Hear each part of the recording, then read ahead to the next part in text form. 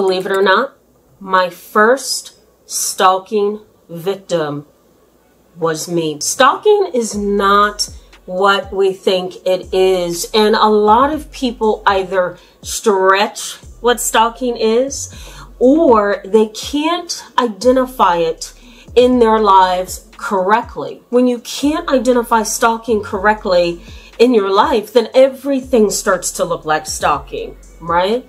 It's a little bit confusing, isn't it? Is that person just interested in me and wants a relationship? Is that family member just following me on social media and not trying to be creepy about it, right? Not trying to stalk me, but they're following me because they miss me. They're interested. They want to know what's going on in my life or they're jealous of me and want to see what's going on in my life compared to their own. It's it's difficult, right, to identify what stalking is. And because of the term gang stalking, it's hard to tell if the word stalking is being stretched and being fitted to your life or is this actually stalking? In today's video, I'm just to touch a little bit on what stalking really is and I'm to highlight what stalking by proxy is. But before we do that, let me just briefly introduce myself in case you are new to my channel. My name is Tamara. I'm internationally and I'm board certified as a trauma therapist. I'm licensed in mental health.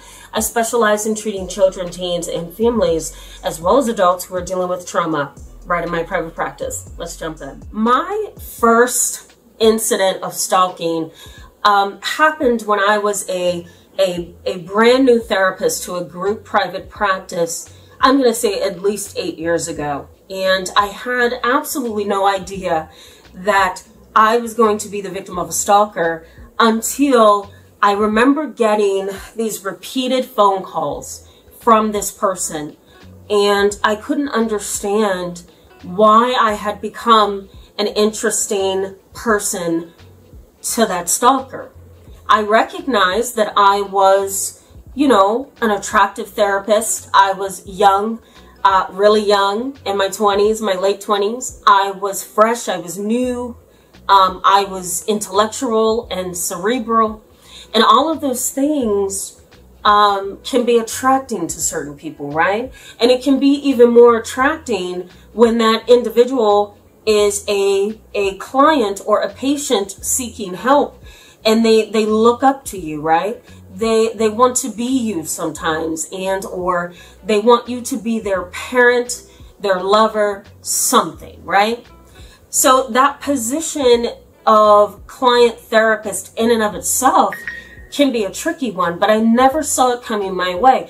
It was only until i got maybe the 10th or 11th phone call that I remember pulling my car over on the side of the road and breaking down crying in my mom's arms. And I says, Mom, I'm so tired of this. And my wonderful mom said, it's going to be okay. We're going to figure out what to do. Thankfully, this individual who I categorized as a psychotic stalker Here's the thumbnail to my video that I did here about psychotic stalkers. And you can click this link at the end of this video if you want to go check that video out. Psychotic stalker is exactly what this individual was. And I had to learn from that point on that these people are relentless. So what do you do when you are the victim of, of, of stalking by proxy? Well, first, I encourage you to become educated about it. Now, Stalking by proxy is basically group stalking and gang stalking, right? Those are the those are the more uh, well-known terms that you might see online or that you may hear somebody talk about.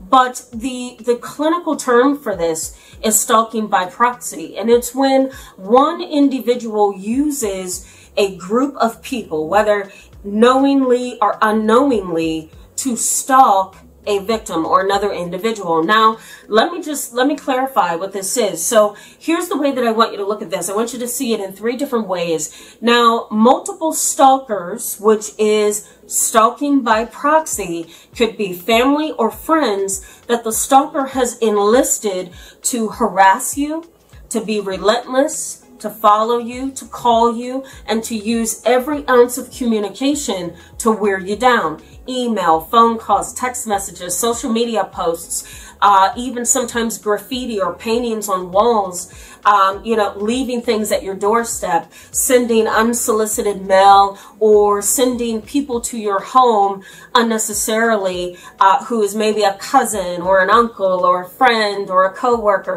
Multiple stalkers. I want you to see this as a, as a um, almost like a uh, how do I want to say this? Almost like a group thing, okay? So multiple stalkers, they're in a group and they're all in cahoots, okay? That's stalking by proxy. It's one individual who encourages several other people to do the dirty work as well. Example of this would be years ago I had a family uh, where a father was incarcerated and he had you know he was he was the perpetrator of domestic violence in the home. Unfortunately the child started uh, experiencing symptoms of ptsd after watching dad beat his mom almost to death and stab her 20 times but she lived surprisingly and thankfully.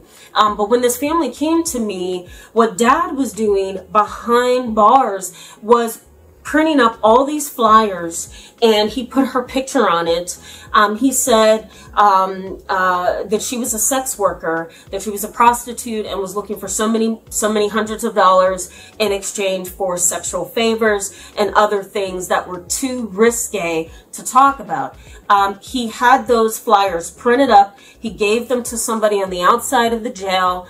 Then the flyers got mailed everywhere that they could be mailed in the neighborhood. And she had for, I'm going to say approximately five months, people coming to her door looking for sexual favors. It was the most despicable thing that I had ever seen. So he utilized uh, stalking by proxy, giving it to somebody else, giving these flyers and photos to somebody else who then mailed it into the neighborhood or around the neighborhood, who then, right, ended up uh, at some point uh, during that time actually taking those flyers and laying them on her porch so she'll know who they are from. Very terrifying situation. Now, another group that you want to think about is independent stalkers. Now, you know, these are the individuals who may or may not know, and for the most part, they don't know that they are being enlisted to stalk someone. So let's say, for example, you decide you don't want to deal with you know, maybe that uncle over there that you never really knew, but for some reason he keeps calling you and